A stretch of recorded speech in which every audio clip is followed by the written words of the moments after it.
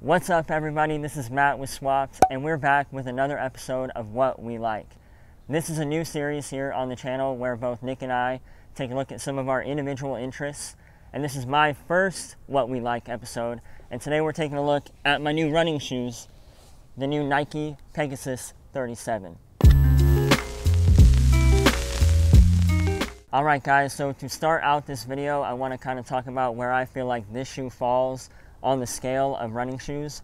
From really cushy, meant more for long distance running shoes, all the way up to like racing running shoes, more meant for tempo and faster paces and things like that. I think that this shoe falls somewhere right in the middle. I don't think that they're overly cushy. I don't think that they're too responsive. I don't think that there's too much bounce. And I also don't think that there's too little. I don't think they're meant really for one more than the other. I think they're meant more for an all around runner who's kind of out there doing everything. For myself, this shoe has been perfect. I put about 50 miles on the pair now, and I am training for a marathon. So I've run on the pavement for the most part. I've run on some trails. Uh, I've run on the track here. Um, and so I've kind of put this shoe through the test uh, over the course of these 50 miles. And I feel like they definitely fall right in the middle of that scale. I think you can definitely push the pace in these, as I have a few times, where I'm trying to just clock a time for a one mile. And I've also felt comfortable running in them. Uh, the furthest distance I've done so far is a 10K. And I've had no issues with the shoes, both running a quick pace mile or a 10K. So I think that um, they're definitely perfect for an all around runner. So slow, dude. He's so fucking slow. Jesus Christ. Now, one thing that I did notice from mile 1 to mile 50 was that the responsiveness has almost felt like it's gone away a tad bit. I feel like the shoes for mile 1 were super bouncy, super responsive, and they almost pushed my pace up a little bit. And over time, I feel like the shoe has sort of formed to my foot more, it's formed to my running style more, um, and it's become a little bit less responsive over time. But with that less responsiveness, it's become a more comfortable shoe overall, and I think that I'm happy with the way that the shoe is wearing so far. Now, coming from someone who is fairly new to running, I've only been running about once a day for the past probably four or five months now, and I'm taller, I'm about six foot one, so I think that my stride length uh, is fairly long in comparison to the average stride length and I'm typically a heel striker. And I will say that compared to like my free runs that I had before, or some Nike racing shoes that I had before, this pair is definitely uh, been nicer on my knees for sure. And I am working on more of a midfoot strike. Um, and the only thing that I really noticed as far as wear goes, besides the shoes getting a little bit dirty, is a slight bit of creasing along the React foam, mainly in the heel portion of the shoe. I'm not noticing it as much on the midfoot or on the on the forefoot. Uh, but in the heel portion of the shoe, I am noticing creasing, but I'm not noticing any kind of reduction in the cushion that is there in the React foam. Now, they have made some improvements between this pair, the Pegasus 37, and last year's model, of the Pegasus 36.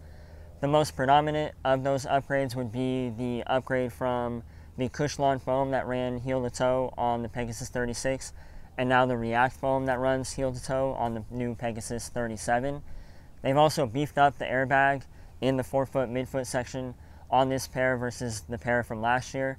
And they've also done a couple of things with the upper of the shoe, things like reducing the thickness of the mesh the upper of the shoe is made out of, and kind of tweaking the lacing system and the flywire system that is in this model of shoes. So I've talked a lot about how I feel like the midfoot and the way that the technology in this shoe has made my feet feel from mile 1 to mile 50.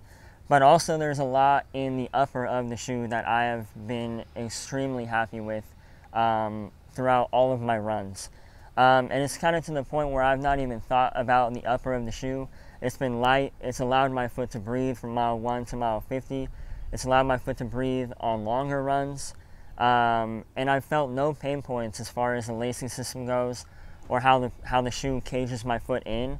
There have been no pressure points I've noticed anywhere on my foot, so that is obviously a really great thing to have in a pair of running shoes.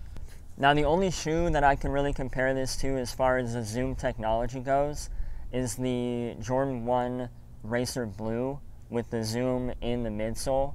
Uh, and I'm noticing that the zoom technology in the pair of Jordan 1s is mostly found in the midfoot, forefoot section of the shoe as well.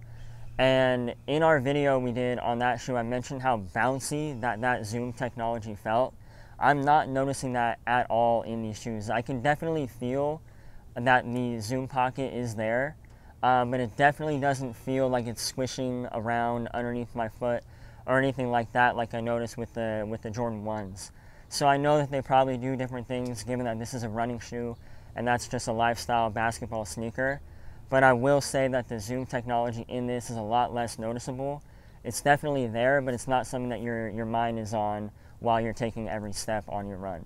Which, in my opinion, is a good thing. Those can get, like I've noticed on the pair of Jordan 1s, it can really tire out your toes, which is a very weird sensation uh, walking around and having your toes kind of split every which way around the zoom pocket.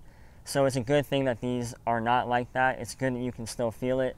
You can still reap the benefits of having the air pocket in this pair of shoes, but it's not going to stress your toes out uh, so that's a, a, a, green check for me there. Now I do want to briefly touch on the traction levels that are in this shoe as well. As I said, I've run on the track, I've run on the pavement, I've run on wet pavement, I've run on slippery pavement, I've run on loose trails. I've kind of put these shoes through the test uh, during the past 50 miles. And I will say that they do grip the road, they do grip the trail, they do grip all that stuff uh, fairly well. Obviously, they're going to grip the road better than they will a trail but I've had no issues slipping around on trails in this pair of shoes, and I've had no issues slipping around corners on wet pavement. I've had no issues uh, with these shoes as of yet as far as the traction goes. Now, with that said, my pace is not very quick at all. I run about, you know, on average, probably about an eight minute mile on my longer runs.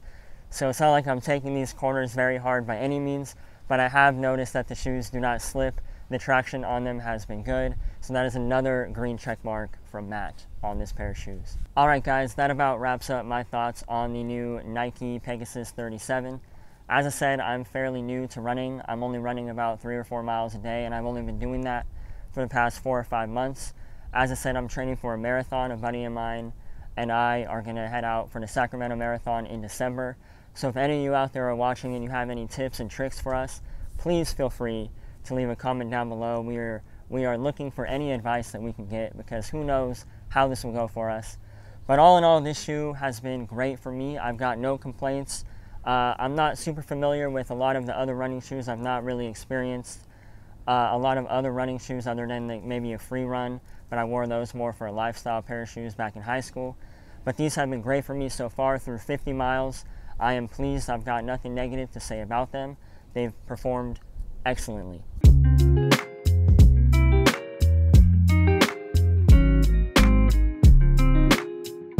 Alright guys, thank you so much for watching my first episode of What We Like on the Nike Pegasus 37. Please be sure to follow us on Instagram and Twitter, both at Swaptco if you have not already. And also be sure to subscribe to the channel if you have not yet already. And smash that like button for us. It really, really, really does help us out. Helps the channel out. Helps keep both myself and Nick motivated here on the channel. And let us know down in the comments below what you're thinking about this pair of Nike Pegasus 37s. Let me know if you have any tips for me and my buddy for that marathon we're training for. But other than that, guys, thank you so much for watching, and we will catch you in the next video.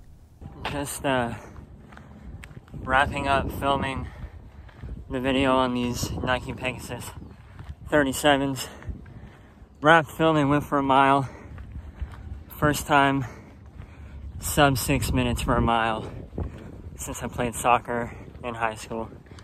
So that's another green check for the Pegasus there.